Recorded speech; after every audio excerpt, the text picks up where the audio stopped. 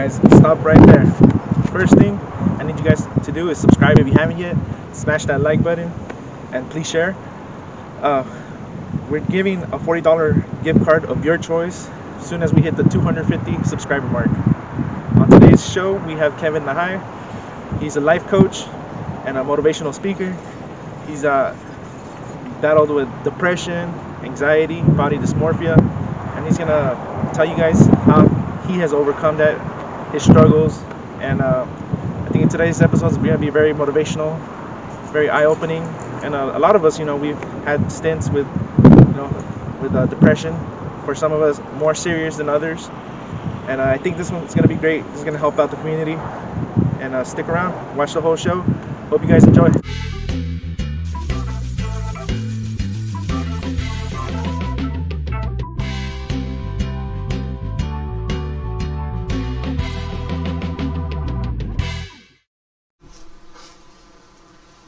Guys, welcome to another episode of the Carrendo Show. Here I have my guests, What's up, guys? I'm Kevin Nahai. and uh, yeah, we're gonna. Thanks for having me, Carlos. No, no, thank you for coming. Thank you for being here. Uh, it's a really hot day today. And, uh, 103 in LA. yeah, 103. No AC. We're And- suffering. we have a fan, but the fan we're using it for the computer so it doesn't overheat. so, yeah, man, let's, let's get it started. Uh, tell us a little about yourself, brother. sure. Uh, my name's Kevin. I'm 28, born and raised in LA. Um, I am a motivational speaker and a coach. I speak to audiences mostly ages, I would say 20 to 35, 20 to 40. And I speak about emotional issues, um, anxiety, depression, body dysmorphia, disordered eating. I speak a lot about dating and relationships. I speak a lot about uh, anxiety. I'm sorry, a lot about self esteem and self confidence issues. And I also run a one on one mentorship program, kind of like a one on one coaching program. And I work with people in their 20s and 30s. And, uh, you know, the, the, the whole point of what I do is to give people practical solutions of how they can actually make changes in their lives Right. rather rather than just talking about like okay well here are all of my problems so i wanted to create something that actually helps them fix those problems Correct. That's that's great. I really yeah. I mean, we need more of that in the world because uh, as you- as you can see, uh, there's just a lot of negativity spreading out, especially in these moments. And and uh, when I saw your videos, I was like, man, this guy's just great. He's he's killing it. thank you man Uh, like spreading that positivity and, and and that mindset, man. Like that. I feel like uh. Uh, what, what do you think it is? What, what's what's going on with uh with the with the people? Is it social media or or there, there's definitely a change, right? Like um, I feel like we have more. You mean- more people depressed or more anxiety? At, at least I feel I never heard of this as much back then. yeah you're you're you're absolutely right i mean the current pandemic has definitely exacerbated people's emotional issues but in general the reason that i wanted to help this population people you know i guess you could call them millennials but people really ages you know 20 to 35 36 is that I I looked at this population, which you and I are both part of, and, and I studied them, and what I what I realized is that next to World War II veterans, we are I'm sorry I'm sorry next to Vietnam War veterans, we are the highest users of anti-anxiety and antidepressant pills of anyone in the country Right. we have the highest suicide rate is right here in this generation. We are more depressed, less happy than we have ever been. And so there is something about this generation, you know, millennials, that is deeply emotionally maladaptive. We are generally really bad at having romantic relationships, and we've got a lot of issues between the sexes, men and women, in the way we relate and the way we date and all that kind of stuff. And you know, of course, it's not all doom and gloom. There's there's a lot to be said for our entrepreneurship, our creativity, the fact that we believe in social justice. You know, all kinds of good things about this generation too. Right. But you know, from an emotional perspective, my question it was the same as yours, which is why are people who are supposed to be at the prime of their lives so incredibly unfulfilled and depressed and unhappy. And so I, I set out a mission on a mission to to really change that and, and to fix that. And we can talk for hours and hours about what the causes of that is, Yeah. whether it's from childhood or social media or, you know, parenting or schooling, pressure, financial issues, the economy, so forth and so on. But my question really is where do we go from here? And how do we change that? That's great. That's uh, that's rather than focusing. Yeah, I mean, we do gotta focus. Where's this coming from? But something we're ignoring is how do we deal with it? And uh, I feel like the solution is not just a pill. That's that's the everybody wants a quick fix, Right. and uh, that's not the right way to go about it. And Yeah, and I'm not, you know, I've been on psychiatric medication myself for my own issues. You know, I've been on antidepressants, I've been on anti-anxiety medications. It's it's not that there's anything wrong with them, but that is something that will give you a little boost and it's something that will sort of act as a band-aid, but you can't put a band-aid over a battle wound. You have to figure out what's going on under the surface. Can, can you describe uh, for me and, and for other people who perhaps they can't relate like because uh yeah like you said you, you, you suffer from depression you said or And anxiety, yeah. anxiety Uh, that, like I said um, that's something I know I, I, I everybody suffered a little you know depression but if you're saying uh, you took medication I mean it must have been more serious than others I'm assuming and uh explain explain that for us like wh- what is it that you feel or you know Sure. and not just what you feel, but uh, how others can help. You know, people when you're in your position, so that way you know they, they don't get to that point where where they're suicidal or something like that. Sure. You know? Like Yeah. how, how can we approach you, or should we give you your own space? That's Let's a great. about that. That's a great question. So, um, I, I've had three major emotional issues in my life. One is anxiety, another was depression, and a third was anorexia. I was severely anorexic during college. Um, you know, for at least two to three years, I was 70 pounds underweight. Um, I, I'm five foot nine, and I was like 112 pounds or something like that. So very, very sickly. And um, it's never just one issue. It's never just you're happy and your entire life is perfect, but you have depression. There is a confluence of factors with any sort of emotional maladaptive disorder, especially with eating disorders. Um, so, what I'm saying is that everything is connected. And, you know, common symptoms um, can manifest themselves in different ways for each one of these disorders. But for me, like, for example, the the giveaway that I was depressed is that I had no motivation to do anything and I would constantly sleep. okay. So for some people, depression comes in the form of undersleeping, uh, for and you know using drugs and alcohol and things like that, and staying up all night, um, skipping work, you know things like that. For other people, it's the opposite, where they feel incredibly unmotivated, unproductive, and they just sleep all day long. You know that's like what I used to do in college on the weekends and things like that. I would just stay in my dorm and just sleep all day long because I had no motivation to get out of bed. Yeah.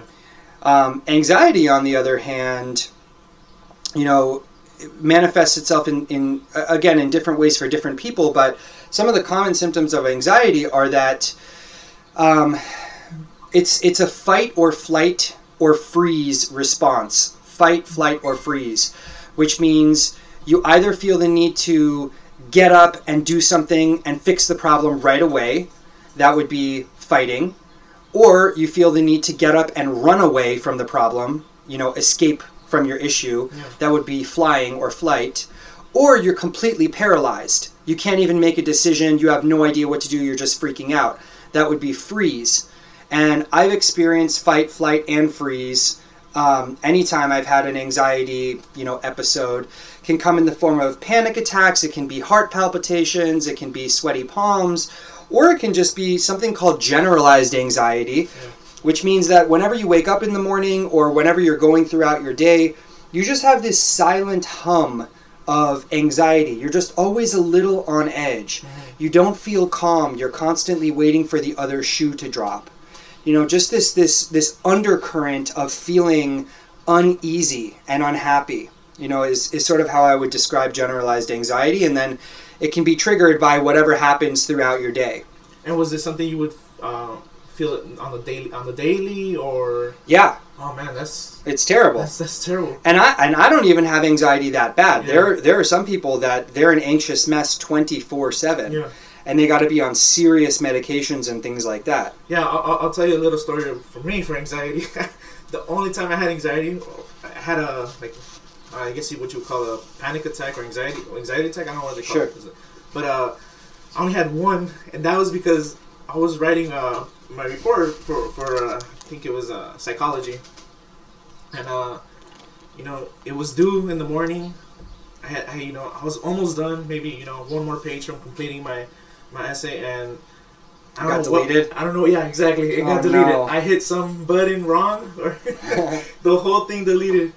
And I just start. That was the first time in my life I was like, "What the hell is this?" Like, I really felt like I was having a heart attack. I was like, Yeah. like just this massive, massive uh, feeling right here in my pit, my chain, my my Chest. chest. Yeah, Yeah. and and it was intense. But uh, maybe it lasted maybe three minutes. But it, it was intense because I, I I just thought to myself I was like, "All right, Carlos, like." You know, you're stressing out about about this. Nothing's gonna happen, so you need to get the fuck back on it and then Mm. and start over. I mean, it, it sucked, but uh, and I think I only had like maybe six hours, Damn. so I had to rewrite the whole thing. And, and like, luckily, you know, I, I re- memorized most of it when I was writing it. So Sure.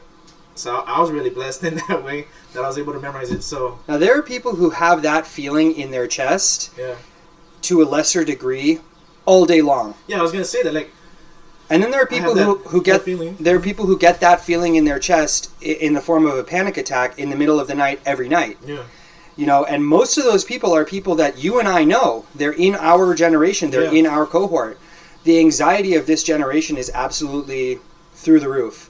And it permeates into every aspect of our lives. It permeates into career trajectory, into relationships, into um, uh, finances. It, it permeates into our relationships with our family.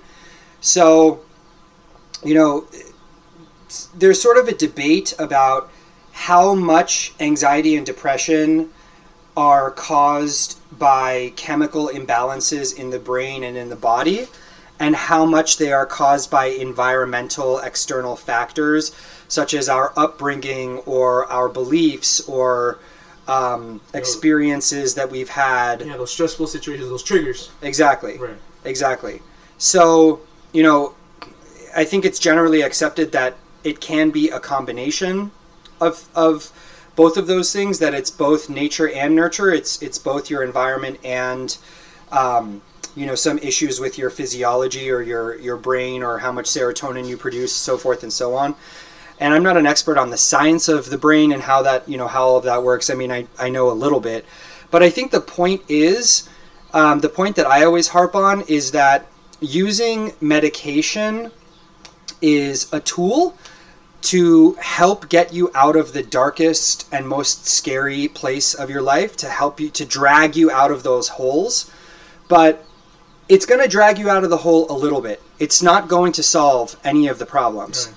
So, um, even though your anxiety or your depression or whatever your emotional issue is might be caused by some sort of physiological factor, um, you're only going to solve it with external environmental changes, meaning changes to your behavior, Right. changes to the way that you think. You're not going to solve it with a pill. So and and that's and that's where I come in. You know, I tell my clients all the time, listen, if you're seriously depressed, like let's do an assessment, you need to go to a psychiatrist, things like that, you know, because replacing some of those healthy chemicals in your brain will help you. But I would say most of my patients are not people who have clinical diagnosed disorders.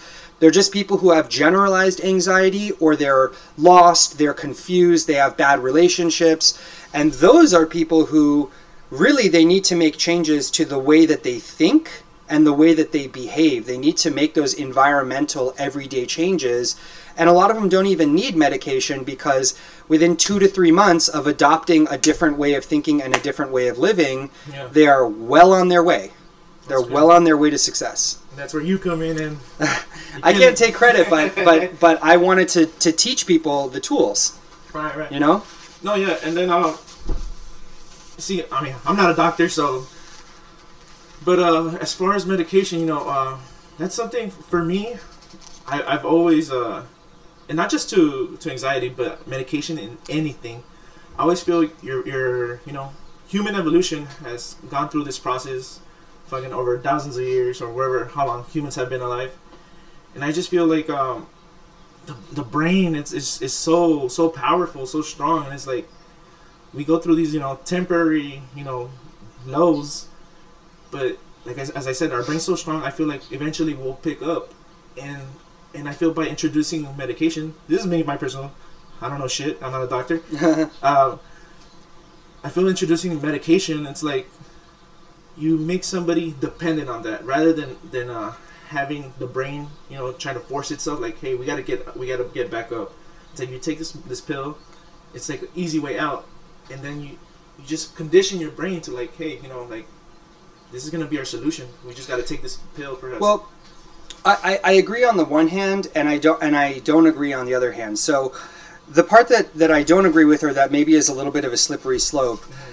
is that there's a large taboo about taking medication because people we think of it as like taking the easy way out or cheating or something like that. Yeah. Whereas if you had cancer, you wouldn't tell somebody, "Oh, don't take medication because that's the easy way out." You know, so for really serious clinical disorders, you do need medication. Yeah to help you because otherwise the cards are stacked against you in terms of your brain function. Yes. But the part that I do agree with and and where my focus is that the single most powerful tool every human being has in their arsenal is their mind. And I teach I teach my clients about this and at first, you know, they think I'm being disingenuous. They think that I'm, you know, trying to explain to them some like woo woo floating on a cloud, like weird meditation thing. It, it's not any of that. What I tell them is that the way you think and what comes out of your mind, your internal dialogue, will create the reality you experience. Yes. And to tell you the truth, I don't know how this works. I don't know if there is some weird Illuminati or God or whatever who's monitoring the frequency of all of our thoughts all the time. You know, there's a book called The Secret which says all kinds of weird stuff about like the the brain wavelength you send out. I don't know if any of that stuff is true or what, but what I can tell you from personal experience and from seeing my clients have the same personal experience 10 out of 10 times, 100 out of 100 times is that what you think is what you're going to get. If you think I'm fat, I'm ugly, I'm unsophisticated, I'm unintelligent, I'm never going to have a relationship, so forth and so on, you are damn right. You will be fat. You will not continue your education. You will not have the relationship that you want. You will not grow spiritually, emotionally, physically, mentally. If you think to yourself, okay, I'm not in a great place right now, but no matter what, I'm going to do whatever it takes to have a relationship, to continue educating myself, to make money, to get where I want. If you can really convince yourself of that by repeatedly repeatedly ramming that into your mind, yeah. you will get it. Yeah. I can't tell you when, but it's only a matter of time. Right. And so the most important takeaway when it when it comes to thinking about the mind is that whatever you focus your attention on is what will grow. Whatever you focus your attention on is what will grow. If your attention is focused on how you're inadequate, on all of the problems that you have, on how you're never going to get what you want, that's what will grow. Literally, it will grow. That's what you will get. If your mind is focused on where you want to go, the work that you need to do, your vision for your future, having all the things that you want in your life, that's what will grow and that's what will appear in your life. Yeah, and, and I saw uh, one, one of your videos which was great. Like, um, you talk about uh, don't worry about what you don't have control of. And mm-hmm. I think that's great because I think so many of us, we, we have that issue. We, you know, we just start worrying about like all this stuff. even with the political climate, you know, we're so worried about what's going to happen with, uh, you know, with, with Trump and all this stuff. And in the end, we really I mean, we do have, we have a vote, but we don't really have right. a choice. You know, it's not really in, in, our hands. I mean, we just we all we can do is hope for the best. That's the best thing you can do. And uh, you know, things may not go the way for for either the Democrats or Republicans or wherever you stand. but you just gotta learn to accept it, deal with it, and adapt. Exactly. Yeah, because if you just keep focusing on that negative, like you said, you you're gonna you're gonna not just that it was that the power of thought, you know. Yeah. You, you bring it into reality, Exactly. and if you're just thinking negative, you're gonna be negative. Exactly. Your whole, your whole And- life. and like with the political comments and the political debate and you know this person thinks coronavirus is the biggest deal in the world that person thinks it's not that big a deal you know this person is for trump that person is for somebody else and they start going at each other's throats and things like that you know everybody is always to, to go back to the thing about control everybody is always hankering for some semblance of control it's like i need to be able to control what you think so that I can feel that I'm right. I need to be able to control this debate so that I know that I'm right. I need to be able to impose my opinion upon you so that I I feel that I'm right and I'm justified. And that's because our ego, the entire purpose of our ego is to find different ways to convince itself that it's right. You know, the Yeah. ego is like this this narcissistic thing that needs to be right at all times and needs to have control over all situations and all people. Whereas if you meet a really peaceful person, a person who's tranquil and calm and knows how to listen, a person who has the things that they want in their lives, so forth and so on, those people they have some ego because if they didn't have some ego they, they wouldn't be you know they wouldn't have reached the level of success that they have Right. but those people never need to argue with you about anything. Because it's like, whatever your opinion is, that's great. Do I have control over that? No. Do I need to be right? No. Right. I have my thoughts, you have your thoughts. It's all good. And that is the the state that I am constantly striving to achieve. Yeah. I'm not very good at it because I, like everybody else, wants to be right and I want to feel justified and I want to have control. I've always been a control freak. Sometimes your emotions uh, take over. Of course. Of course. Yeah, for, for me, uh, and this professor, Professor Sneed, he he changed my life. Uh, before I used to be, uh, I was- I was very like uh, angry or easy to get angry. Mm. And then he told me once, and then th- th- this it was so simple, but it changed my life for the better. He said, uh, he's like, when you get mad, you're letting other people take control of your emotions. Mm. He's like, you can you choose to be mad. Mm. He's like, you can either choose to be mad or you can choose to be happy. You know, no matter what they tell you, no matter what they say. It, it was so simple, but like, that hit really deep. I was like, why the fuck am I getting mad? Like, Right. you know, and, and sometimes uh, I apply this in all my life, and sometimes uh, I even apply this with my wife, which which can, can cause even more friction with my wife because my, my wife she loves to argue with me, or as I found out later on now, that's um. It wouldn't be marriage it- if you if she didn't love to argue with you. Right, right.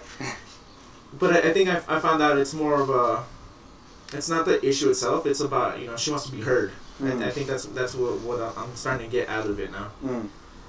And uh, yeah, so that, that that really changed my life. I was like, man, why am I getting mad all the time over people's words? And it's like, you know, in a couple of years, I'm not gonna see these people majority of the time. You know, Yeah. majority of people, you, you your friendships come and go, And and, and even if you do see them, it's not your responsibility, your right, or your ability to change their mind. yeah, You know, like for some reason we have this, and I'm very guilty of this, of course, but you know, for some for some reason we we learn this perception along the way that if somebody disagrees with us, we have the ability, we have the obligation, uh, and we have the right to change their mind, to fix them, to show them the promised land, to show them the way that things are supposed to be. And then when they're not getting what we're saying, we get angry. yeah, And the thing that I've learned about anger, because I used to have a temper problem, to tell you the truth, I used to get, I used to have a very short fuse. You know, now I'll get anxious and I'll get emotional, but it's pretty rare that I get angry. Mhm. And if I get angry and I notice my temper coming on, I, I've become much, much, much better at learning how to regulate that. that's great. And that's because the thing that I learned about anger is that there are there are three phases. Phase 1 is the trigger. Somebody does something, somebody says something and it pisses you off, okay? Phase 2 is your reaction. And phase 3 is the aftermath. Now, Phase one is something we have very little control over. Mm-hmm. We all get angry. We're all emotional creatures. If somebody says something that, that angers you and they trigger you and they push your buttons, you're going to get angry. Like, of course, you're going to feel that. And that's totally normal. You can't worry about that because you have no control over it. But phase two, which is the most important phase, is your reaction. How you react to them, how you process your own anger, and what you choose to put back out to them. Right? So if you choose to clap back at them and you pop off on them, you've just lost. Yeah. You have capitulated to the trigger. Right? You lose your temper on them the way that I used to do, unfortunately, which I regret. Right? Then now you lost the game. It's like you you you capitulated their their trigger got the best of you and now you just ruined your own day by reaction. Right. and then we move into phase three which is the aftermath. And the aftermath is fine let's say you reacted poorly. Let's say you let your anger get the best of you. Okay fine. In the aftermath what are you going to do about it now? A day later a month later a year later. Some people are angry for 20 years after the original incident. Yeah. You've just spent 20 years, or a week, or a month, or a year of your life, of your precious time that you can never get back, being angry about something that is probably so inconse- inconsequential in the grand scheme of your life. And even if it's not inconsequential, even if it's it's really important and, and had a, a really large impact on your life, again, the question is, are you hurting the person by being angry at them? No, they don't give a shit. You're hurting yourself. Exactly. Yeah, I was gonna go to that. I was like, you're holding on to all this anger. Twenty, like you said, twenty years, and the other person, he's fucking living his life. He's Exactly. happy. He's happy, and, you, and you're fucking, you're stressing over some petty shit. Exactly. so the way I like to describe that third phase of anger, the the aftermath, is like it's it's holding on to a hot coal. A, a burning hot coal. You're waiting to throw the hot coal in the other person's face. You're just waiting. I can't wait to burn your, your, your face with this hot coal. But what's happening in the meantime? You're burning your hand. yeah. You're the one that's Oh, I burning. fucking love that analogy, man. That's great. That's great. You know? Well. Your hand is is turning to ash and bone while you're waiting to throw the coal in their face, you know? Right. And so hopefully you never get to the aftermath, but the way you avoid getting to that third phase of anger is to control what happens in phase 2, control your reaction. Yeah. And the thing that I found most useful in phase 2 is a principle called respond, don't react. Respond means you take 10 seconds, 60 seconds, 10 minutes to just do nothing. Somebody triggers you, somebody angers you, you shut your mouth, you walk away, you count down from 10. Yeah. 10, 9, 8, or you count down from a minute if you have to. Whatever you have to do. Then you can respond. Mm. You pause. You try to curtail whatever your instinct is, you know, however you originally want to react, and instead you respond. That way, it doesn't blow up into this whole thing, and you don't have to hold on to that anger, you know, because if it's two people going head to head against each other, they're not going to say sorry, you're not going to get say sorry, and both of you are just going to remain angry, and then nobody wins. And not, not even just that. Uh, you know, some people they they they enjoy getting you mad. Yeah, they do. So they, they see you mad, Like these idiots on Facebook. yeah, yeah. I mean, they see you mad once, they're like, ah, let me repeat that again. And like I said, it comes back to that to that thing I learned from Professor Sneed. They're controlling your emotions. Right. And uh, I, I remember, uh, I don't know. Dude, there's this girl on Facebook. I see her posts every day. She's either posting about like something political about the election or she's posting about COVID. She only posts about two things and she posts uh, them every day. And then there's like 100, 200 comments. 80% of them are from her. Just being pissed off and spitting vitriol at people, and they're spitting vitriol at you know at each other, and you know it's like how much of everyone's life did you just waste by by proliferating these angry, spiteful posts. Do you think this is going to change the state of coronavirus? Yeah. No, all this does is piss you off and piss everybody else off around you. Yeah. So, and again, people always have to convince themselves that they're right and that they're justified. Okay, that's fine. You can convince yourself, but while you're doing that, I'm off making money. Like while you're doing that, Yeah. I'm being happy. I'm working on my relationships. I'm growing. Yeah. So No, and then uh, like I said, I, I the best thing I learned to do was be selfish. That was one of the best things. And uh, what do you mean? in, in, in a good way, like, I'll explain. Uh, like I always think about my body. Like I, I, I you know, I always think of myself, my body as a temple. Mm. So when, when you get mad, people go, you know, they always think of the emotional part, but they don't think about the physical. Mm. When you get mad or when you're stressed, your cortisol levels rise. That, that They shoot that through the roof. That impacts you, you know, later on in life. You know, get heart attacks, things like that, right? So I always think of that, like, why am I gonna get mad? Why this is gonna ex- affect, impact my health? Mm. So that that's what, what I always go to. I was like, man, I don't want to kill myself. That's how I, that's how I try to think. of it. I don't want to kill myself over some fucking comment. Mm. So I, I just let it go, you know, and, Mm. and just move on to, to my, my thing, the next thing. Yeah. So That's such an important piece uh, about the the physical impact because going back to what I was saying earlier with this generation having so many emotional issues and being anxious all the time, it really manifests in physical symptoms. And people don't don't see the connection between the mind and the body, right. you know, but for example, when I was 19, my first semester of college, I was diagnosed with a chronic incurable disease of the stomach. Mm. My doctor my family doctor sat me down. He said, Okay, you have this disease. You will have it the rest of your life and it will never be cured.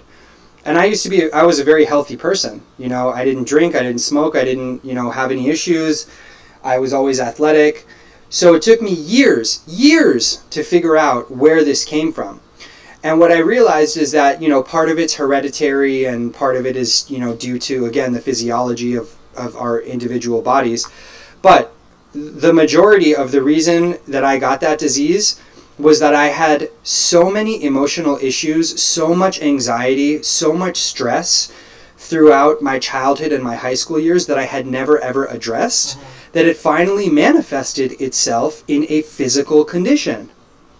And now whenever people tell me they have the flu or they tell me they got they got a cold or they're telling me they have an autoimmune disease or mm-hmm. whatever it is, the first question I ask them is what happened in the 3 days before you got this? Yeah. What happened what has been going on for the last 3 years of your life for example? And 99 out of 100 times it is it can be correlated strongly to stress and to our or the emotional condition. Yeah. Yeah, and uh, I think that's the same reason. I, I, I was for for a moment I was thinking like, man, I need to go to the doctor because I really can't remember a time in my life that I even had the flu. Mm. And, and Maybe because you're a happy guy. Yeah, like you said, because I, don't really get too stressed out about it. I'm a happy guy. I'm always positive, and I I think, like you said, that that correlates, that transmutes into um to the physical. You know, 100%. and I've never been sick, and I was like, why the fuck am I not sick? Like, how come I don't get sick? And I think that's the answer, man. It's Yeah. just That's amazing. yeah. I always have a, a positive mindset, and then even when like, I feel like I'm gonna get a cold or something, I just snap out of it. I'm like, hey, like. Don't be a bitch. Don't don't don't let it overtake you. like I just Yeah. have these little fucking games in my head. Yeah. That's how I deal with it. But you got to understand, you're a unicorn. Mm. 99% of people did not win this sort of positivity lottery that you won, which is you were just born a happy, ambitious, positive guy. You know, the, most people out there were not just born with that ability. They either don't have it at all or they have to spend years and years building it. Yeah. You know, so thing you got to remember is that just because it's easy for you to snap yourself out of things and you don't get colds and you don't get flus and things like that thank god Yeah. because you're always so upbeat and so positive most people are not like that Yeah. uh, once they learn to become like that then those physical ailments really start to dissipate like with my stomach disease i spent years four or five years trying every medication under the sun it wasn't until I got my ass in therapy and started making very, very serious changes to my lifestyle and my internal dialogue and the way I think and all of that kind of stuff that my stomach actually got better. And I'm going a little bit back. Um, you, said you had a eating disorder, right? Yes, that was different from my stomach disease. Was that cause? Did that eating disorder cause the disease, or did the disease cause? Uh, what came first? The disease came first, Okay. but what happened um, was that when I got the disease, I couldn't keep any food down. So I started dropping all this weight like crazy. Then I became very depressed because I had this disease and because I felt like I was dying. Um, and I mean, in a sense, I was, I was dying. I was having every problem under the sun. Um, thank God I didn't die, you know. Um, but it was very serious when I first got diagnosed, and it made me super depressed. I would look in the mirror. I saw that I had lost all of this weight. I hated the way that I looked. Then I started to associate food with pain. I start thinking, oh, if I eat, I'm going to be in pain. My stomach's not going to be able to keep it down. You know, I started having all of these problems anytime I would use the bathroom. My digestion was all sorts of messed up, you know, so I just stopped eating Yeah. because that was the only thing that avoided pain. And was this something you you always dealt with uh, since you were a child, or, or did it like Well, since I was a child, I had a very sensitive stomach, but never like this. okay? Yeah, this was brand new. So it, it kind of developed over time. It got worse, you would say. It got worse over time, but it hit me like a ton of bricks my uh, first month at college. You know, it really was, the onset of it was not slow. The onset of it was very sudden. Yeah. So, anyway, you know, I, I felt like my body had betrayed me. I felt sick all the time. I felt ugly. I, you know, was really pitying myself. I felt depressed. You killing it, man. You get all these fine girls, bro. Not at the time, dude. Thank you, but Uh, and and so and so basically that you know the physical ailment put me in such a dark place that it turned into depression it turned into eating disorder it turned into a lot of self-hate turned into anxiety and here's the thing that people don't understand when you hate yourself self-hate begets self-hate it's not as if you look in the mirror and you say ugh i hate what i see so i need to make a change you look in the mirror and you say, I hate what I see, this is terrible, and that makes you hate yourself even more. And when you hate yourself, you do things that reinforce hating yourself. You destroy yourself. And so you get caught in this very deep, dark uh, cycle of self destruction. It's like a drug addict. A drug addict is not happy. They hate themselves, they hate their lives most of the time. So the drug addict doesn't look in the mirror and say, you know what? Today's the day I'm going to make a change. Let me pull myself up by the bootstraps. I got this. No, they continue destroying themselves like I was. I continued starving myself and working out like crazy and doing all this stuff because you're reinforcing the behavior that hates you that makes you hate yourself. You know, you get stuck in this black hole. Permanent cycle. Exactly. Eventually, the drug addict gets to the point where they're sick and tired of being sick and tired. And I got to that point too. Uh, Eventually, I hit my rock bottom and I was like, all right, I'm ready to be done with this. And was this a, a decision you made on your own? Is it something that was influenced by your friends and family? How, how did how did uh like I said Well- like I said uh, earlier um, what's the best way to go about? Do we give you your own space Oh, so you can think about it, or or should we be there for you? Because Oh. sometimes we, we, we don't know what to do. With Well- this course. I would say that it depends what the issue is. If you're dealing with someone who's depressed, or if you're dealing with someone who has an eating disorder, or if you're dealing with someone who's a drug addict, each one of those situations has its own, you know, peculiarities in terms of how you approach the person who is suffering. Mm-hmm. But here's what I can say is true across the board. What is true across the board is that if that person is not ready to make a change, if they are addicted to their problem, addicted to being depressed, addicted to having bad relationships, addicted to their abusive partner, addicted to the drug, I've never seen it like that, but that's great that you. if they are addicted to the problem, mm. You cannot fix them, you cannot change them. Don't abandon them, love them, tell them I'm here for you, tell them anything you need, I'm always here. But don't be bombarding them saying, You're too skinny, you need to get out of this relationship, I see that you're depressed, let's go. Like, it, it's futile. It's not going to do anything until they get to the point where they've hit their rock bottom and they're ready to make a change. Mm-hmm. So, and listen, man, the hardest thing in the world, God forbid this ever happens to you, hardest thing in the world is seeing somebody you love do something self destructive. Yeah. Whether it's your brother, it's your friend, it's your wife. You know, I feel so terrible that my family watched me do something self destructive and that they had to suffer and they couldn't do anything about it.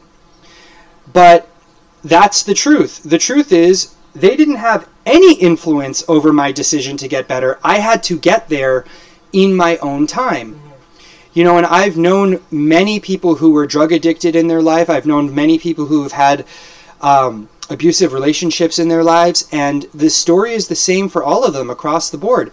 They had to get to the place where they were ready to turn their lives around, and no amount of a family member or a friend saying, I'm worried about you, sped up the process. Yeah, and I, I had a friend. He Does was, that make sense? Yeah, no, definitely. Because I had a friend. He, he's uh, that he was addicted to heroin, Oh, shit. and uh, yeah, he, he he told me he's like, it's like the only the only reason I changed was because he's like one day I just decided I don't want to do this no more. This is it. Like you said, he must have hit his rock bottom. Nobody else n- will change his mind. It, it- it's up to that individual to be like, all right, I'm, I'm done with this. Like, Exactly. let- Let's get out of this shit. Yeah, and you know sometimes there are there are false, what's it called a, a false negative, um, or a false start, I guess, where a person is like, it's really easy to motivate yourself temporarily to be like, all right, today's the day I lose weight. New year and new me. Today's the day I quit doing drugs. Today's the day I throw away this pack of cigarettes, whatever it is. Yeah. And then like 24 hours later, you're back to the same behavior. And then, okay, you go a week. And then a week later, you're back to the same behavior. And why does it happen? Like, why do people relapse on their self destructive behavior? It's because they're not truly ready. You know? You have to get to the point where you are truly ready. And you're a very motivated person and you work very hard, so you, you can attest to this. It's one thing to work really, really hard on something uh, for four days or two weeks or a month, and then you lose steam and you go back to your old ways. You start hanging out with dumb people. You start smoking a little bit of pot here and there, and then before you know it, you're like living on your grandmother's couch. Yeah. It's another thing to stay motivated and stay committed to your goal every day for the long term. Yeah. That, excuse my language, is fucking hard. That is hard. And anybody who has been in that situation, like I still have to do things to make sure I never have an eating disorder again. I still have to do things to make sure my anxiety stays low. And anybody who has experienced that will tell you the rent is due every day. Seven days a week. If you want to keep up the quality of your life, you don't get any free passes. You never get to a place where you're like, okay, today I'm good. Today I can fuck around and throw my life down the toilet. Tomorrow I'll, you know, diet starts tomorrow. Yeah. Just doesn't work that way. I was gonna say, uh, I don't know if you do this with your clients or applied it for yourself. I think well, this is for, for me my secret to why why I'm I'm always so positive is uh through habits. You know, Mm. you, you set up little goals and uh, like like for me, for when I before I would start something and, and I would just never finish it. I had such a fucking huge problem with that. And now what I do, I'll, I'll write my goals down. I write them down, and then I just every morning I read it before I go to sleep. I read it, and I feel like I've accomplished so much more doing that. Mm. And uh, like I said, it's because I developed a habit. So Mhm. I, I, I, I feel like perhaps other people can can adopt that and just you got to create habits and and uh, it goes back to that uh, the power of thought. You know, like you wake up in the morning, you see that, you read to yourself like, "Fuck, like I'm, I'm, I'm working on this." Guy. That sets the tone for your whole day. Yeah, it sets exactly it sets the tone for the whole day. And when you go to sleep, man, like you know what? I'm, I'm not here yet, but fuck, I will be. I'm, I'm one step closer. Right. You know? Right. and, and, and that's that's how that's how I do it. Like setting these these habits. That's what what's really important that you need to do. And what's a habit, dude? A habit is something you do every single day. Mhm. A habit is something you do. Let's say your habit is going to the gym. You get your ass up and you go to the gym when you're tired. You go on Christmas. Yeah. You go, you know, unless you've designated a day that is like your rest day or whatever, you get your ass up and you go. You go when you feel like it, you go when you don't feel like it. Why? Because that's the only recipe for success. Yeah. The rent is due every day. You know, and uh, by the way, about habits, there's a great book called Atomic Habits. Um, I wish I wrote it, but I did not. um, Atomic Habits really helped me implement some great new habits in, into my own life. But, you know, what you're saying is exactly what I teach my clients and what I talk about. There, any anything you want to get in your life, it comes down to two things: the way you think, the way you behave. You change the way you think, you will change the way you behave. You change the way you behave, you will change the way you think. Yeah. If you alter those two variables, what goes through your mind all day long and what you actually do, that is how you change your life. That is how you get the things that you want. Yeah, I definitely agree.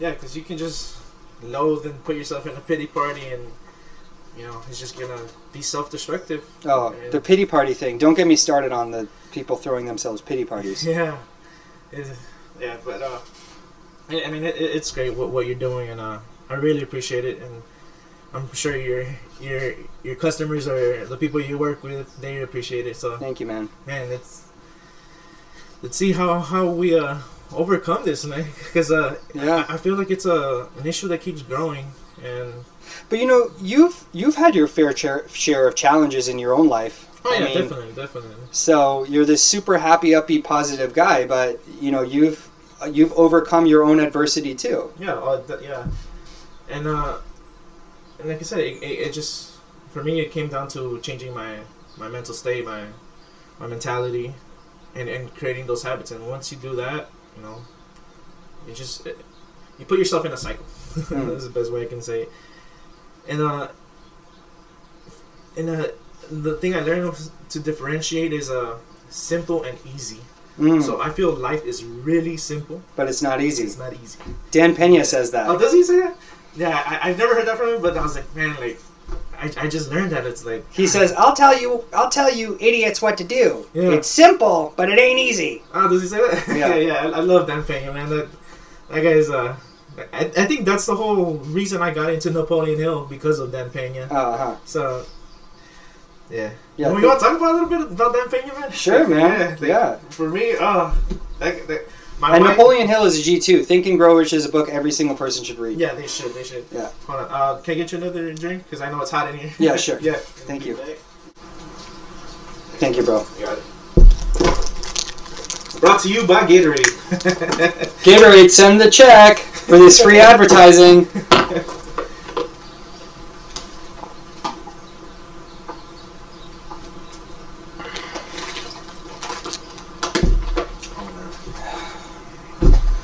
ah, that Mexican water. Send the check. Send the check. How'd you get into Dan Pena? uh, oh, oh. So with Dan Pena, uh, um, I was watching uh, Joe Rogan because I, I I love his show. Joe Rogan. podcast? Yeah, his podcast. It's the best. It's fucking great. And uh, It's hilarious too. yeah. No, actually, it wasn't Dan Pena. Uh, it wasn't. Uh, it wasn't Joe Rogan. It was. Uh, I don't know if you're familiar with Vlad TV. Vlad, no. Yeah, yeah, he does like a lot of uh, hip, he's mostly does hip hop stuff. Okay. But uh, he had this uh, one special guest uh, talk about wealth, which was Dan Pena, Mm. and uh, for me, it was I just saw him cuss so much, and, and I cuss a lot, so I was like, wait, what? Like, you can be wealthy and fucking just be a loudmouth like that? I was like, holy shit!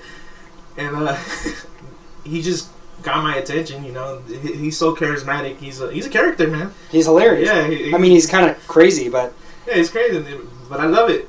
My my wife, the first time I showed him to my wife, because he does the the online seminars too, I Uh-huh. think. And uh, I I sat down with my wife like, hey, let's watch this, and I, I just fell in love with it. I was like, whoa, like this guy, he knows what the fuck he's doing, and yeah. and and, and he's from East LA, and, and and he's coaching all these billionaires. I know. And I was like, holy shit, like that's someone I can relate to, man. Like that, that I was like, he's from East LA. He's a, a, Mexican American. His dad was a cop. He grew up in the barrio. Yeah, he grew up in the Barrio. It- You know, his his parent, his or his mom was an immigrant, and so I, I could definitely relate. And I was like, huh, like there's people who can fucking do it. If he can do it, like why can't I? Anyone can do it. Yeah, anyone can do it. And uh, yeah, that that that just completely blew my, my wife. To this day, she hates him. Why? Because he, he's a Obnoxious? No, no, no. He he he he cusses so much, and like I guess she doesn't like how he carries himself, Mm. and she noticed that I started to adapt Oh, the way the way he is, and like, because it's true. Like um, before around my wife, like I kind of like censored myself. Mhm. You know, it was more out of respect, but then like in the inside, I I was having this conflict. I was like, man, I can't be myself. Like, and I was like, this is not this is not good. Can't be your usual dog self. Yeah. But uh, you know, luckily she, over over time she's she's learned to to accept it more. She's like, all right, this is him, and like I can't change him. Mhm. So, so that's why I love her. She's she's a great girl for that. She she just lets me be, and she's so supportive of of, every, of everything I did. Like um, starting this, I was like, hey, uh, so I'm, I'm gonna spend you know this amount of money on this, and she didn't say, oh, why. She- Wow. She, she's just like, yeah, if you, if you think it's something you, you, that's gonna be great for you, do it. And that's the best. Like that's the best type of support you can have. Just someone who's like, all right, if you know, and if you know something great, then go for it. They believe in you. Yeah, and then um, she also uh, and th- this was such a great thing. She she always told me she's like um, that I always have the final say. And I Mm. was like, how many women you know can say that? Like, No, like, it's very rare. Yeah, very rare. She, she's like, you know, you're the man of the house. You know, like whatever you decision you get, you make for this family, that's the the final decision. And I was like, damn.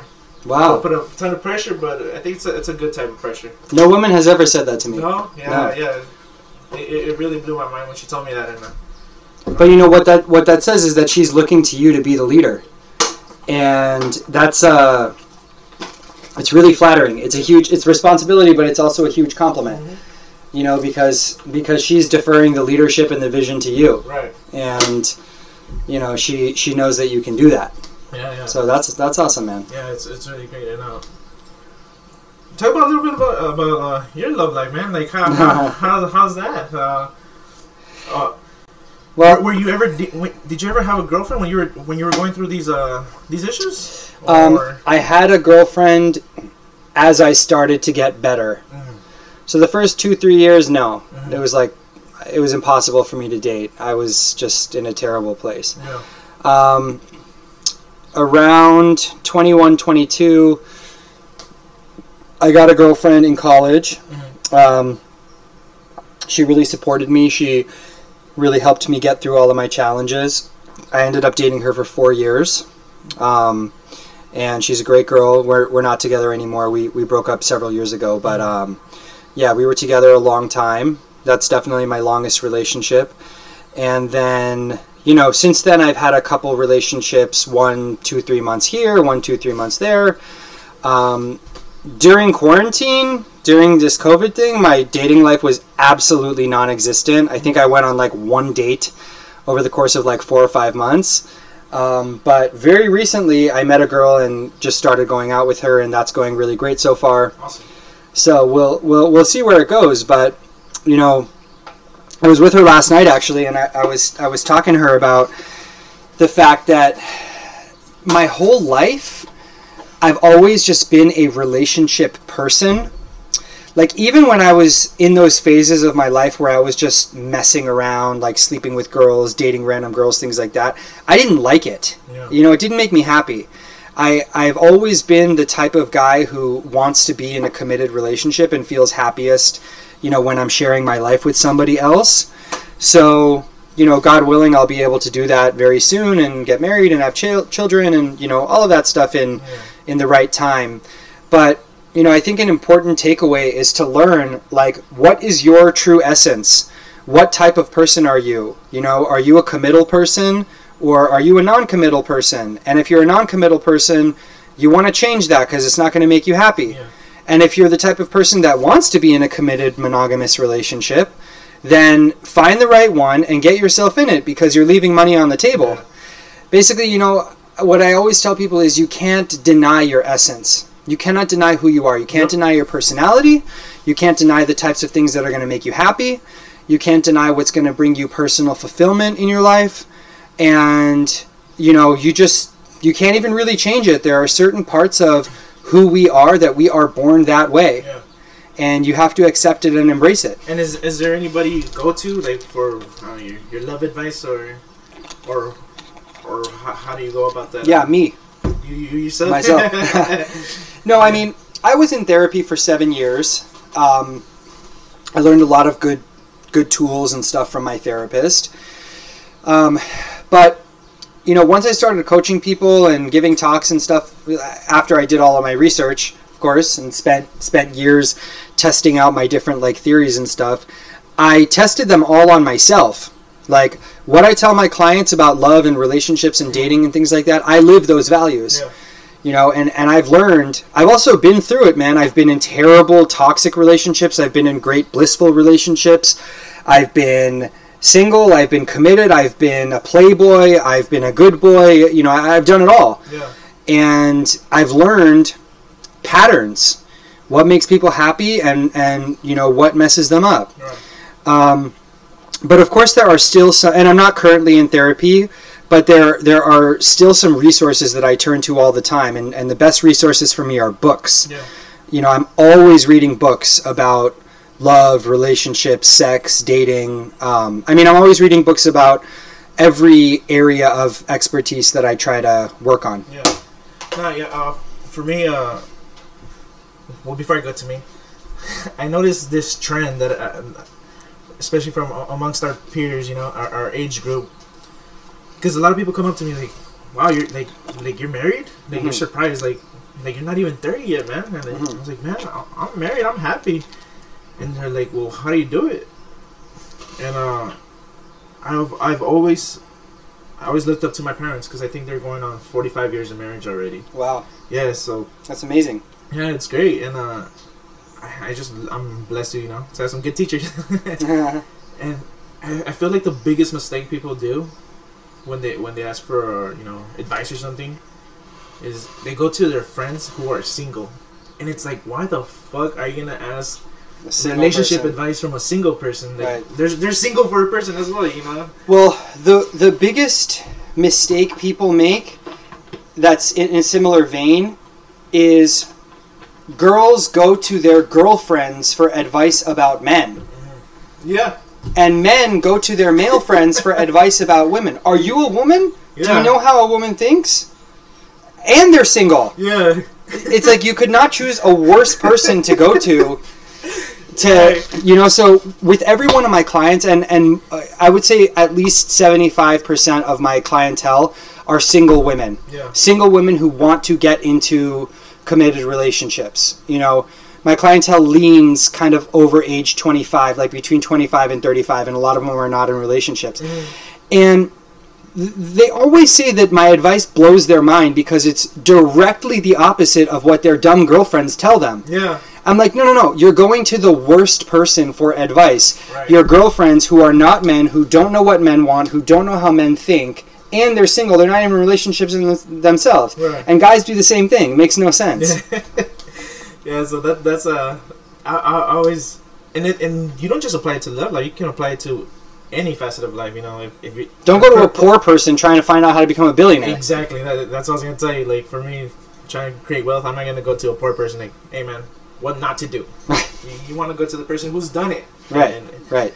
and same thing with a love life or any other thing that you're trying to achieve. Yeah. Yeah. But you know, let me ask you a question about getting married young. Mm. Um, or I don't know if it's a, a, a question, but it's a comment, and then I, I want to hear your thoughts on this. So I've always seen that there are two types of men out there. Um,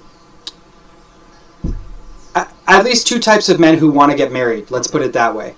Type one is a man who says, I'm not where I want to be yet. I'm not maybe 100% financially stable. Don't have everything I want. But I want to find a woman who's going to stay by my side, who sees my ambition, who sees where I'm going, and I want to start building my life with her. You sound like that.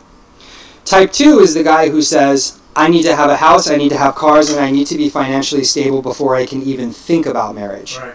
You know? Guys who don't want to date seriously until they know that they can provide that life. Mhm. You know? So, I've always wanted to be type 1. I've always wanted to be that guy that has a girl that, you know, I can get married to her young, I can have children young, and we can build our wealth together, and she can, you know, stay by my side and, and we can grow together Right. rather than waiting until I'm 40 until I'm, you know, and, and at that point I can say, oh, look at all this stuff that I have. Now I can get myself a little wife and, you know, put her in my house and, you right. know, And then yeah, when I feel like uh, when you get older, also uh, once you get like you said, you, you have the money, the house, whatever, all these riches. Um, you you, you start thinking like, was this girl with me because of what I have, my possessions, Mm, interesting. as opposed to as opposed to me. Like, I think I'm in a great position because, like I said, uh, I'm gonna grow with her. So I, you know, it's not that that thought's never gonna be in my head. Like, oh, this she's only with me because of Mm. what I have. And and you got married while you were bussing tables at a restaurant, right? Right, right, right. So she married you when you had nothing. Yeah, yeah, yeah. Wow. Exactly. So That's unbelievable. yeah, it, it, she's she's a great person and uh, and she already had completed her her her career. She went to uh, Universidad de Guadalajara, and she became a chief nurse. Wow. So, that, you know, it was a little a little bit intimidating because she's like, man, like, I, I haven't I haven't, I haven't gotten my stuff together yet. Mm. I mean, I, I completed my school. Uh, I, I got my pharmacy. My uh, what's it called? Can't even think. But I worked at a behavioral hospital, Mm. and might be my wife. but uh, yeah. Uh, what, was I going with this? that you were a little intimidating, uh, intimidated at first because she had her her life together and you were still working. Exactly, and and I think it also it rubbed off on me. You Mhm. know, her her mindset. She helped you grow into that. Exactly, she helped me grow, and, uh, and seeing her complete something, and I was like, man, I can I can complete, you know, whatever my dream is because her dream really was nursing, Mhm. and uh, you know, in Mexico, you, it might not be the most uh, rewarding as far as financially, but she's happy because it, it was something she wanted to do. She wanted to help people out, and nobody's gonna take that away from her. So Yeah, man. she she's she's happy, and you know. it's And that- that's the important part, just being happy. That's my wife saying hello, checking in. It's not, not a girl, not, not with the girls.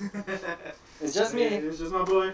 Um, Proof. but you know that that thing about it might not be the most financially rewarding, but it makes her happy. Yeah.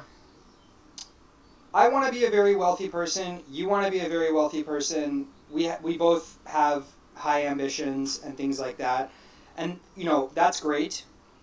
But I've noticed this huge problem in the sort of psychology, self help, personal development area. Hmm. I, I think that there's a really dangerous message going around, which is be the best, do the most, make the most money, be your absolute best, fulfill your potential, do everything, become the queen of the universe, become the king of the world, blah, blah, blah. And it takes a very extraordinary type of person to have not only the drive to do that, but the ability to do that. And God willing, I'll be an extraordinary person, but I don't know. You know, I, I, I don't know what's what's how my life is going to turn out. But that's why they call them extraordinary because they are extraordinary because they're not ordinary. Yeah. And most people out there don't need those things in order to be happy. Most yeah. people out there need a good job, they need to live comfortably, they need to have good, long lasting relationships, healthy family, healthy kids, and that will be enough for them. And so, a message that I try to spread is do less. Like, do what's going to make you happy. Drop this expectation you have of yourself that by age whatever, you need to be the partner at, the, at a law firm, you need to have a house in Beverly Hills, you need to have three kids, you need to have a Range Rover, and, you know, that somehow, like, that's gonna that's gonna make you happy and that's what's gonna bring you know fulfillment into your life and so this problem that i'm describing is that we are constantly conflating achievement and fulfillment. Mm-hmm. We're constantly thinking that achieving things receiving accolades having accomplishments under your belt is going to bring you fulfillment. Right. that if i fatten up my resume if i have more money if i have this title blah blah blah that somehow that's going to make me emotionally fulfilled. It's going to fill up my heart. It's going to fill up my soul. And it's just not true it's just not true. If you want to feel fulfilled in life you have to do things that bring joy to your heart. And those things are growing. Those things are having good relationships. Those things include making positive contributions to other people's life you know? It's very rare that a person who has all the money and all the riches in the world is also extremely emotionally fulfilled. Right. You know, most of those people end up being the richest person in the graveyard. Yeah. And there's nothing wrong with being rich. I want to be rich. But I don't make the mistake of thinking that if I'm super achieved and super accomplished, that's also going to make me fulfilled because Yeah. they're they're different sciences. Yeah, I'll, I'll- and I'll say two things about that. Um, I, yesterday I was reading a book from uh, Robert Kiyosaki. Mhm. Uh, I think it's uh, Rich, Rich Dad, Poor Dad. Yeah, yeah. And I, I didn't I didn't even know this, but uh, apparently Charles, Charles Schwab, who purchased uh, the steel company steel company from uh, Andrew Carnegie, Uh-huh. he ended up dying poor. Damn. And, and I was like, holy shit, like. I, I never knew it, and especially because you know you see Charles Schwab, Charles Schwab, the first thing you think of is money, or you Of know, course. it's The stock, bank. yeah, the bank, all that stuff, right? But I didn't know he died broke, and I was like, oh shit, like that, that blew my mind. And Robert Kiyosaki, he was talking about, uh, I guess there was this meeting, and you know some of them died broke, another another uh, people they died like as uh, as ended up poor farmers. Mm. Others uh, committed suicide because Mhm. of the Great Depression, Mhm. and uh, I- I see those similarities, especially with the with how the economy is, is looking out right right now. And you see, you know, a lot of these people, they seem to be happy, but they're only happy because of the money. But Mm. once that money's gone, like, Then what? what's gonna happen? Yeah, and for for me, I want to create wealth, but for me, the, the money's not what's gonna bring me happiness. For me, I'm a curious person, and Right. and I just love to travel. I love to try different things, and that and I feel the money will will supply that. Yeah. will, will help me fulfill my curiosity. Right. So And there's also there's also a difference. be- i- i- There's an important distinction in how you make your wealth. yeah, So if you're making tons of wealth because you're making a positive contribution to somebody else's life, you're educating people, you're creating a product that makes life better for people, you know, you're uh, whatever, you accumulate all of these riches because you found a way to make life better for someone else. You deserve all the riches in the world, Yeah. you know? But if your sole mission is to make all of this money to fulfill your ego and you do it by being like an investment banker who works like 100 hours a week and never sees their wife and never sees their kids and you know it's just like you're money hungry all the time shit's not going to make you happy. Yeah, it's not. you know and and and that money what money is that? What what is it worth? You work so much anyway all you can do is go to the hamptons like once every 6 months and be with all of these other people who are just as unhappy as you are. Yeah, so you know. And you know, like you said, uh, you can have all these girls, but you know, I, I went through that phase as well. You know, I was dating so many different girls, and and my boys, they'd be like, "Hell yeah, man! Like you, you're fucking dating all these fine women and all that you're shit." killing it And for me and myself, I was like, well, I'm, I'm not like I'm not fulfilled. Like, and you know, now I- I'm I'm married. You know, I'm just with one person, but I'm the happiest I've ever been, man. right Like, man I'm, I'm like I said, fulfilled, yeah and uh, now I'm just working on the the financial part. right exactly. And i and i am too. I you know i'm i'm like that too. I always tell people look man if you want a business coach or you want to find out how to 10x your business don't come to me because i don't know. I'm figuring that out on my own. I have a business coach. His name's jeremy. He's incredible. Yeah. um, you know and and i i pay him to help me sort out that aspect of my life. I can't tell people how to make money i can teach them how to find fulfillment yeah. I can teach them how to find relationships. I can teach them how to turn a tragedy into a triumph. I can teach them how to fill up their soul. I can teach them gratitude. I can teach them better habits. You know, if you want to find out how to go make money, you know, read all these great big books, listen to Grant Cardone and all these other big wigs, hire a business coach, you know, do whatever you have to do. But And, and, and be careful who, who you're looking up. Like you said, Grant Cardone. For for a minute I was falling into his his thing, you know, like because he's like, he's very charming. And, Sure. uh, and I'm seeing with with the with the whole eviction process and all this stuff, like, or the whole uh, was it what did we have here in LA? The the holding of the moratorium, of- of rent moratorium. rent moratorium. That that impacted his his uh, business, and he started firing a bunch of people. a Oh, of shit. staff. Yeah. And so you gotta be careful who you who you look up to. Like, like I said, it's not just money. You Right. Got, you got, and, and that's what the thing I love about Dan Pena. He doesn't just go into business with people who have money, because, you know, almost anybody can, can make money. He just goes into business with extraordinary people. Yeah, he and he hires private investigators to see their personal life, see who they really are. Right. Because, like I said, th- that, that that account you can inflate it, Right. but your character is always gonna be you. Exactly, and that's that's you know, that's what I was going to say is you can listen to Grant Cardone, you can listen to if you don't like him somebody else, you can listen to Gary Vaynerchuk, I don't know, any Warren Buffett, any of these super rich mm-hmm. people, whatever, go hear what they have to say. But learn how to be fulfilled. Learn what's going to make you happy because there are patterns. Human beings are all the same. Doesn't matter if you live in Fiji, doesn't matter if you have 10 gazillion dollars or $10. All human beings, there are certain tenets that make us happy and certain tenets that make us unhappy. And it is on you to learn what those are. And so, you know, I'm still a nobody, I'm still a baby in this industry, but you know, I, I try to teach people those things from my own personal experience and from what I've seen work. And I tell people all the time, and for anybody who listens to this show, message me anytime. My line is always open. I talk to people for free every single day. Get on the phone with them, don't charge them a dime, just so I can get the ball rolling for them. Yeah. But you would be shocked, Carlos, how many people don't even take the first step of sending a message. It takes two seconds to send a message. Yeah. You would be shocked how many people won't spend 15 to 30 minutes on the phone with somebody who might potentially have the ability to make their lives better. Right. Why? Because we get addicted to our problems. Yeah. We get addicted to that cycle of negativity and the same stuff, you know, same self destructive behavior perpetuating itself in our lives over and over again. And, you know, it's it's like ultimately, man, I can't make you do anything. Ultimately, you are going to be in control of your destiny and what you get in your life and how you feel and what you think. And I'm a tool, but you got to take the first step and reach out. Yeah. And, and for me, um, I was wasting so much time on social media before. like, Oh, oh my goodness. yeah, Like, it's useless. it's so addiction. And then uh, that's why I started this podcast too, because I was like, I spent so much fucking time on this that like, rather than wasting my time on it, like, let, let's let's find a way to make this beneficial to me. Right.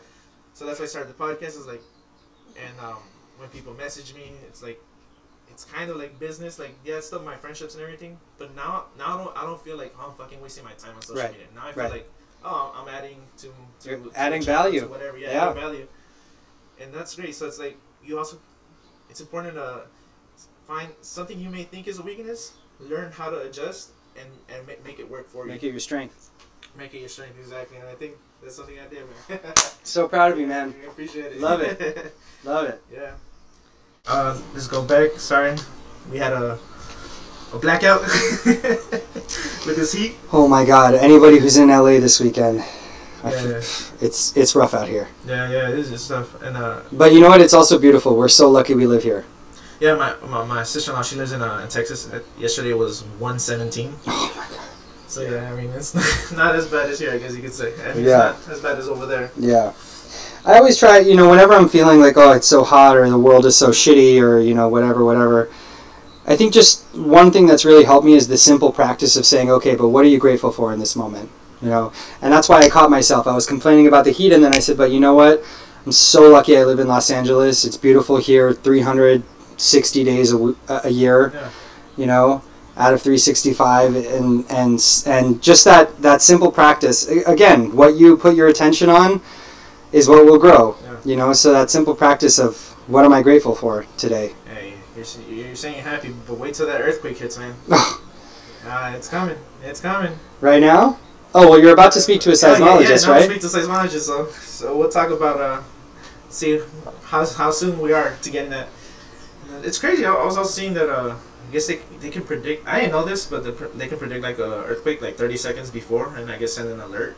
You know who can predict a th- an earthquake 30 seconds before? Who's My that? dog. Really? Gus starts barking his ass off like crazy, like 20, 30 seconds before the earthquake happens, and then earthquake hits every time. Hey, maybe that's what the guys at Caltech are doing. They just have a They just have a kennel little- right a little dog? A super Once- smart Yeah, dog. yeah. Once he starts barking, like oh, Yeah. send out the alert.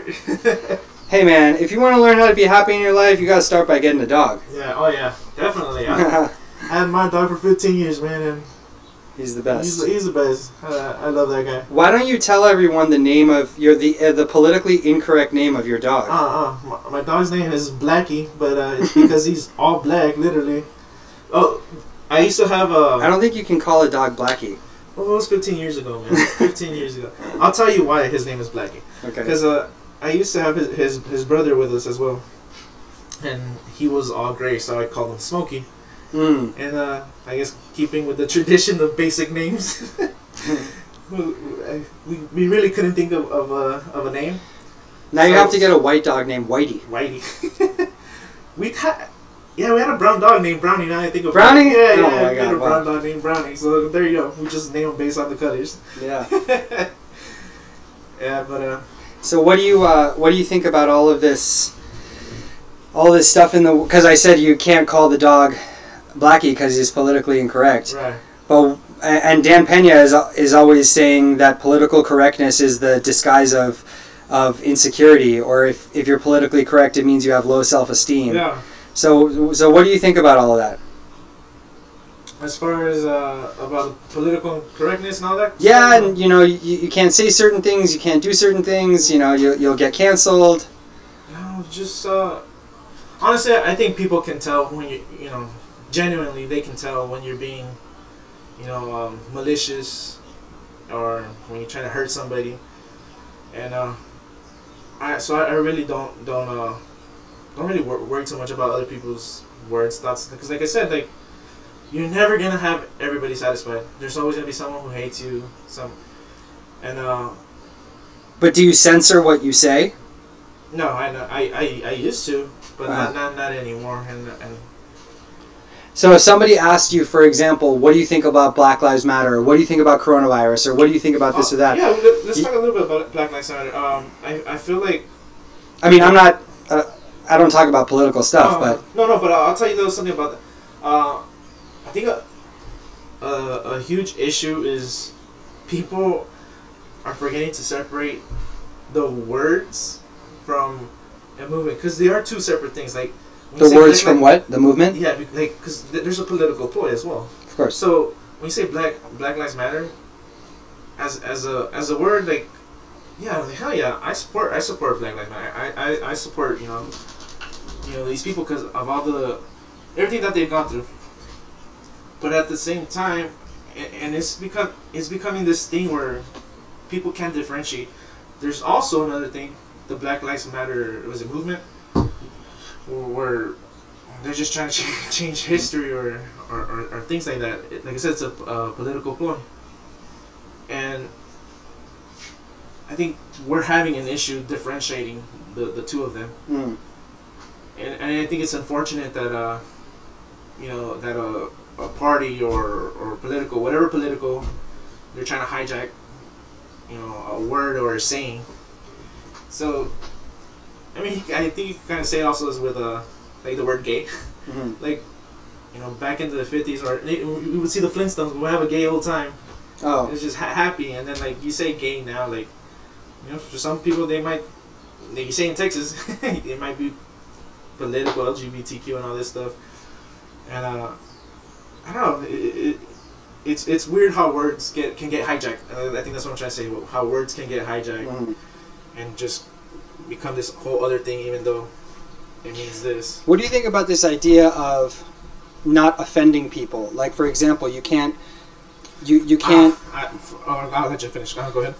no like so the reason that you can't use gay as a derogatory term is that it's derogatory to gay people and it's it's rude to gay people and it's mm-hmm. offensive. Right. So you know that I understand, and I don't. I never use the word gay as a derogatory slur Okay. because it doesn't make any sense to anyway, and it's mm-hmm. not nice. But then there are other things that, like, for example, you're not you're like you're not allowed to say that, you know, you're not allowed to say that like sex is the same as gender, mm-hmm. or that like there are men and women now. Like now you have to say a person who identifies as a man. You're not allowed to say a man. Right. So then there are other things that like you know whatever you say is going to be misconstrued as as racist or sexist or misogynistic you know or insensitive so you can't say anything because you're going to offend someone Uh, yeah. Well, for me, like I said, uh, it goes back to, to to what I said earlier. Is uh, people can tell when you're when you're genuine, when you're being malicious, and uh, I really don't care about other people's opinions about me. Like I said, I, I'm never gonna have everybody happy, and uh, I always keep myself happy. And I, I learned that uh, if I make myself happy, I'll make others around me happy. Mm. And and I'm a I'm a joke. I'm a prankster. I'm a joker. And people can go through my Facebook and they'll find some old shit. You know, I really am sorry about you know shit I said in the past because I, I have changed and that's the thing. A lot of a lot of people, you know, there's this whole cancel culture going on right now. Right. You don't. Especially- people can't believe that something someone did 20 years ago was wrong, Yeah, and that maybe they've changed. yeah, and, and, and we all we all change. Like, I'm not the same person I was in high school for sure. Like, No, no way. and, and, and I'll say uh, I said some fucked up shit. Like I'm not, I'm not gonna hide that I said some fucked up shit, and you know, uh, that was my mindset at the time. I was a stupid mindset, and I apologize for if I offended anyone at that time. But I can say now that you know I'm not that person where, where that I was. I'm a great, a better person. Um, I think that's what matters, yeah, man. that's that's what that's what matters. if Uh, you're not growing, you're dying. no. Yeah, because bef- bef- I'll tell you, uh, like in 09, 2010, I, I I was against like gay marriage, man. Because I, I was really, I, I don't know, I guess whole church and everything. Religious. Yeah, religious and uh, and now, you know, I'm I'm a changed man. Especially working in West Hollywood, you know, like that's the thing.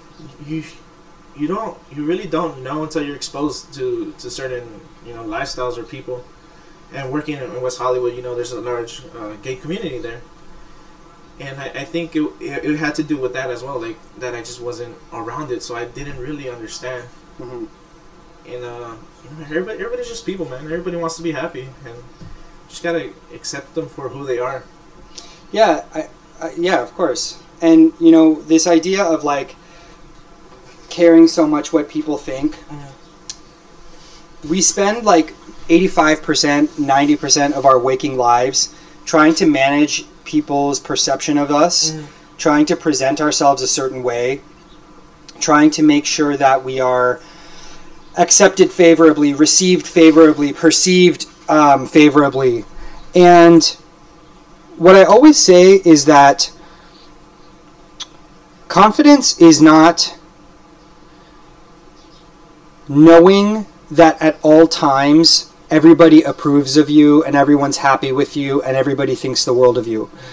Confidence is knowing that if they don't approve of you, if they don't think the world of you, you're okay anyway. Yeah. you know? So so we all want to be received well and perceived well. We all want to be in other people's good graces and that makes sense. We want to have a good reputation. Everybody wants to be liked. Everybody wants to be recognized. There's nothing wrong with that. Mm-hmm. But where it becomes the danger zone is how much do you let that control your life what you say what you think how you act you know? Yeah. confidence is knowing that i'm going to put my best foot forward and if somebody likes me that's great. I really hope they do. But if they don't i'm okay anyway. And you don't allow someone's perception of you to change the way you see yourself. That's the most important thing. Everybody's allowed to have whatever perception of you that they want right? Yeah. but do you allow the way they perceive you and what they think of you to influence and alter the way you see yourself? That's where it becomes really tricky. Yeah. And look, man, as you get older, a sign of, of growth and a sign of maturity is that the older you get, the smaller your social circle gets. Yeah. Because as you become older and more wise and more mature, presumably, hopefully, you become uh, more set in your values, more set in, the, in your lifestyle, more set in what you believe is right and wrong and important. And the people in your life are either a reflection of that or they're not. Yeah. So naturally, your social circle is going to shrink. And if your social circle is not shrinking, then it means that you're still holding, you haven't shed the layers of people who don't belong in your life anymore. you just reminded me of something. Uh, in, in middle school, well, like Jordan has always been great, big, right?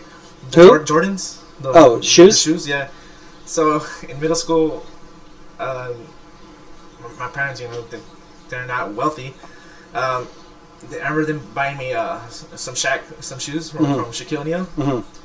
and I and I got I got picked on for that. It's like they made me feel like you know weird. I was like, man, I was getting bullied. I was like, oh, you're wearing Shaqs. Those, those, those are fake fake Jordans. And I was like, and like you said, now that I'm older, I was like, fuck, I wish I kept those those Shaqs, man. Yeah, they're gonna be worth a lot of money one day. I don't even know if they're worth a lot of money, but I was like, I, I really enjoyed those shoes, man, and and and um, Shaq's such a great person too, because you know Jordans, the people get shot for Jordans, man. That's the crazy part. Of it. People, people don't understand that. People be getting shot for Jordans, and, and Shaq came out with those shoes. Uh, I think they're available at Payless. I think that's where I got them. That's so funny. Yeah, people would make. make Yeah, so you got these middle schoolers making fun of you, and all of a sudden you go home thinking you're a loser. Yeah, but but luckily I had you know my parents. I had such a great great parents, and uh, they, they they always fill me with confidence. Especially my dad. My Mm. dad, like, man, that guy he can talk to anybody. That it's cool because I have both sides. My mom, as you met, she's really shy. She's quiet, super quiet. She's very direct. and then my dad, man, he can talk up a storm. Mm, So it, it's cool getting out that, that balance from Sure. both of them sure. and uh, yeah, like I, I always wonder like how people get insecure because like my, my dad he never he never made me feel insecure. He Mm. I, I picked up a lot from him. He, uh, he he's also I would say similar to me. He has a, a positive mindset. He's never upset, and uh, I just took what he has and now I'm trying to apply it to the financial life. Sure. Because I, I feel, I feel And my you dad will. has so much potential. I, I, I wish my dad, you know, he's watching this. I, I really hope that uh, he can grow his business because he has so much potential and he has this gift of talking to people that uh, that I only have a, a small fraction of it. And uh, I wish I could be more like him. Yeah, but you have the brains, man. Yeah, I got the brains exactly. It's so amazing. it's just uh, working on it. But yeah, you know. Dude. Well, thank you for sharing this with me. Thank you for having me Well, on thank today, you for man. coming. I really appreciate it. And uh, I know it's uh, been really tough because of the heat and all. No, it's been my pleasure, man. no. no. Thank it, you, It was really great, and uh, thank you so much. I Thank you, bro. it. Let's do it again Yeah, soon. definitely, definitely, and uh, we're gonna be hopefully in a better place next time we do this. And, Hey, hell yeah, Every day. Making that paper, baby. All right, guys. Well, oh, um, you want to promote any stuff? You have your channel, or, or how people can reach out to you? For Yeah, I would love to. Yeah. Um, as I as I said, if anybody listening to this has any questions, they want to talk to me about a situation, they need advice, they need guidance, they just need someone to listen to, please, please, please reach out to me. Um, my Instagram is Kevin Nahai, K E V I N N A H A I. Hopefully, you can write it somewhere. Yeah. I respond to every comment. I respond to every DM. Um, I'm always here to listen, and you chat over the phone and whatever. So please uh, give me a follow and please reach out. Yeah, and uh, it's really great because as as you heard Kevin's story, you know, he had issues, and the best way to get advice is from someone who's gone through it. So, you know, if, if you had any issues, suffering depression, anxiety, or eating disorder, Kevin's your go-to man. Thank you so So- much, bro. Thank you for for being here and uh, for sharing with us, and uh, you know, I really wish you well, and, and I know you're gonna, you know, you're gonna do even more great stuff. So, so. all right, guys, thank you for being with us, and see you next time. Bye.